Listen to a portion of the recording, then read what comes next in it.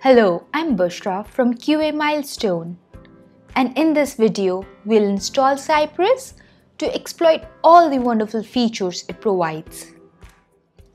As we have discussed, Cypress is heavily loaded but still setting up Cypress is really easy.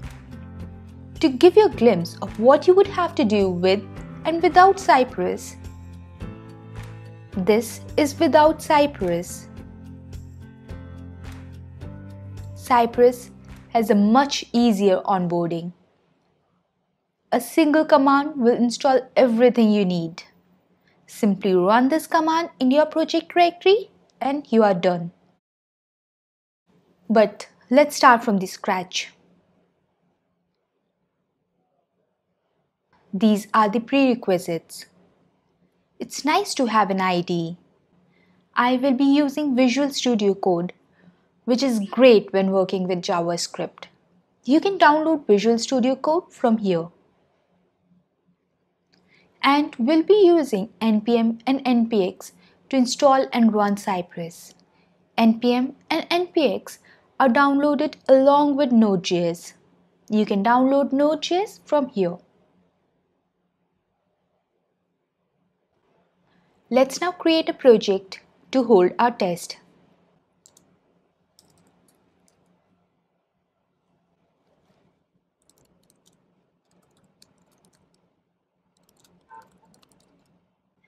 Now go ahead and open this project in Visual Studio Code.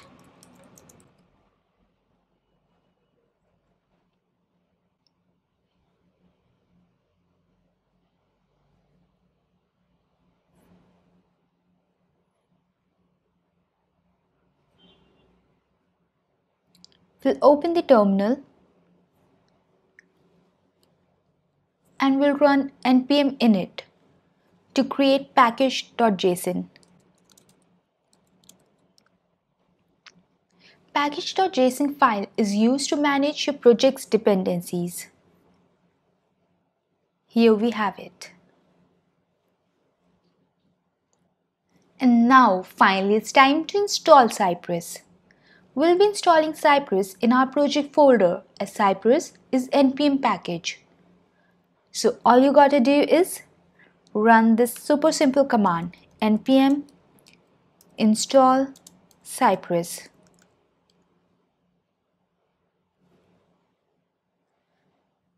This will install Cypress desktop app and Cypress CLI.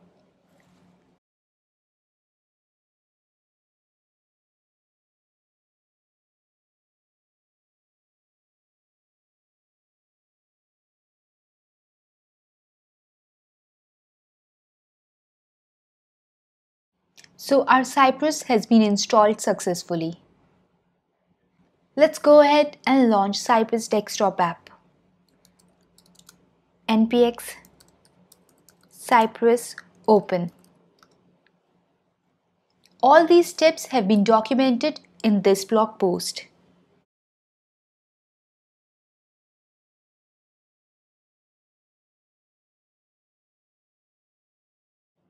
This is Cypress GUI. It will list all the test files that we have created. Well, we haven't created any so far. And these are just the sample tests that Cypress downloads for us to get a hang of how to work with Cypress. Let's run one of them.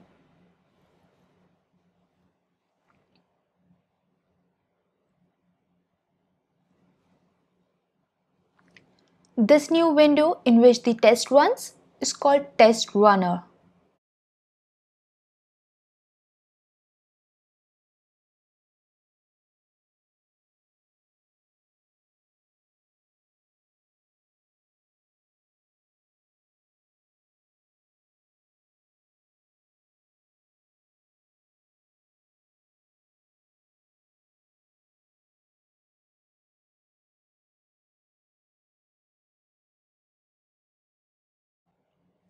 So our test has completed.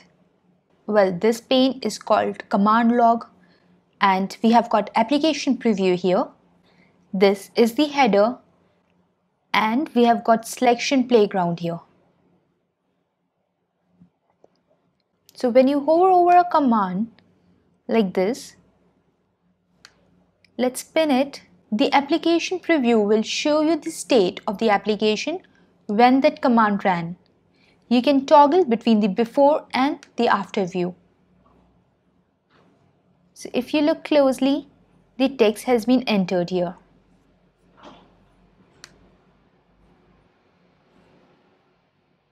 And in the before view, it is empty.